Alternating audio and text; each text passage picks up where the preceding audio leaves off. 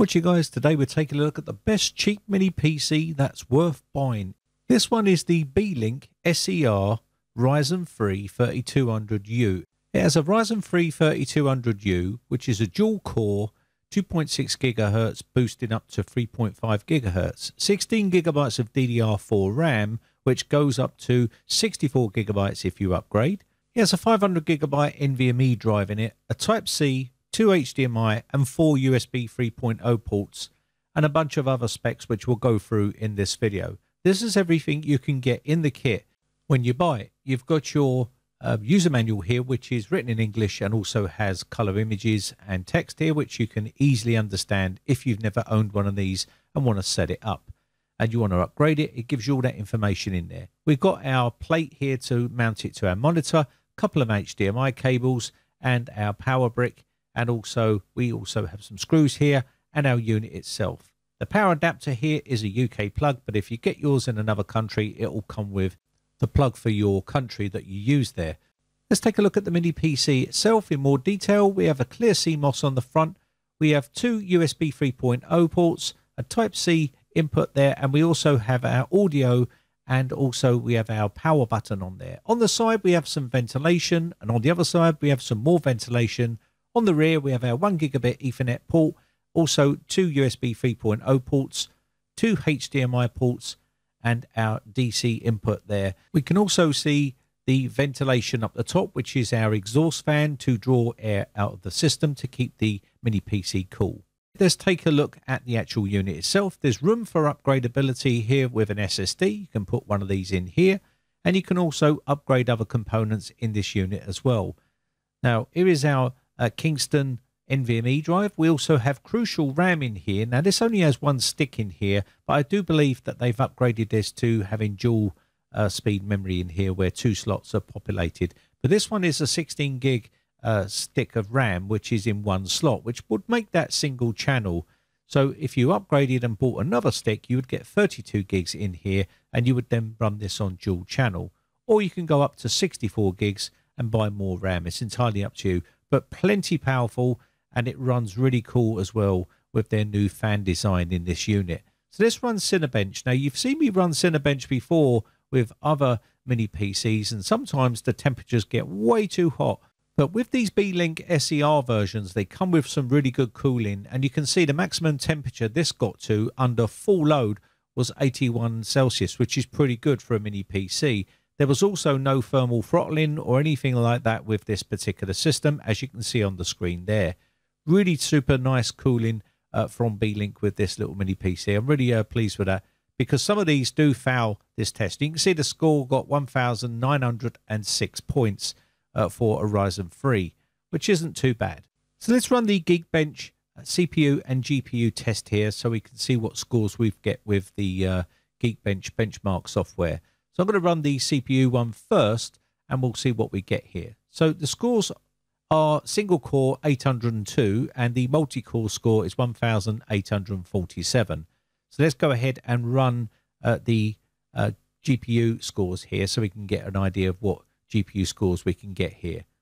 Now you can see the power plan is set to balanced on this. I haven't overclocked it or anything like that. It's straight out of the box as you would get yours when you purchase one.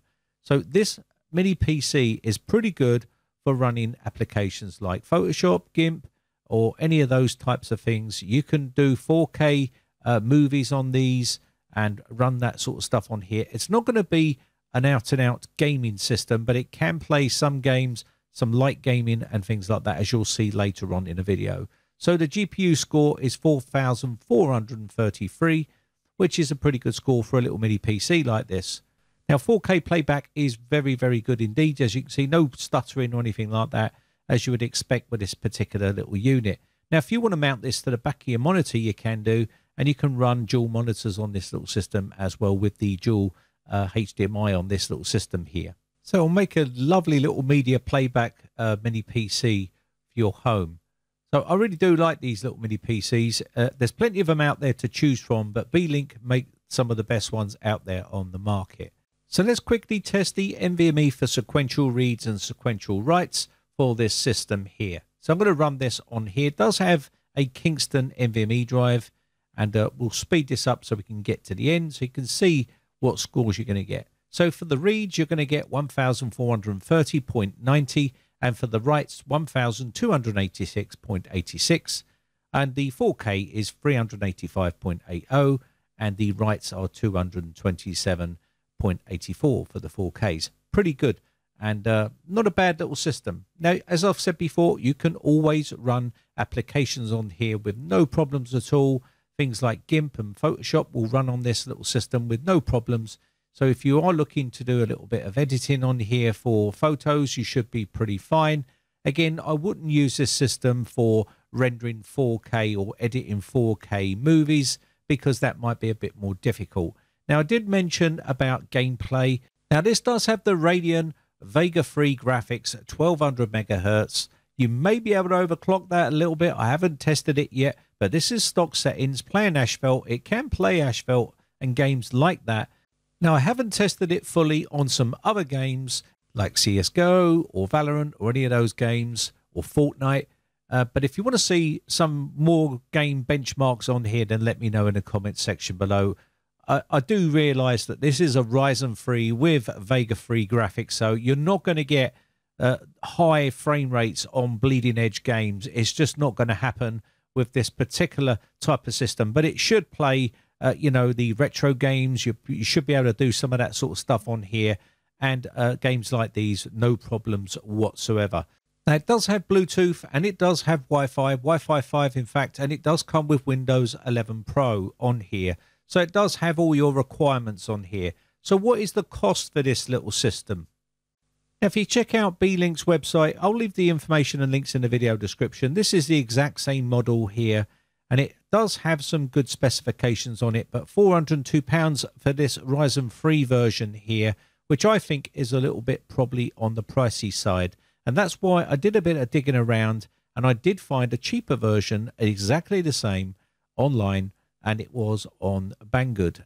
And their price was £288. Now, that is a pretty good deal. And uh, again, for this mini PC, if you're looking for a cheap mini PC that is pretty good at what it does, then the Beelink uh, SER 3 is a pretty good option. And this is the Ryzen 3 version. So if you're looking for a mini PC that doesn't break the bank, then the Beelink SER 3 the Ryzen 3 3200U is a pretty good option to go for. Anyway, that's going to be about it for this one. My name has been Brian from briteccomputers.co.uk. Just want to say a quick shout out to all my YouTube members who joined my YouTube members group. I really appreciate the support, and I shall see you again for another video real soon. Thanks again for watching. Bye for now.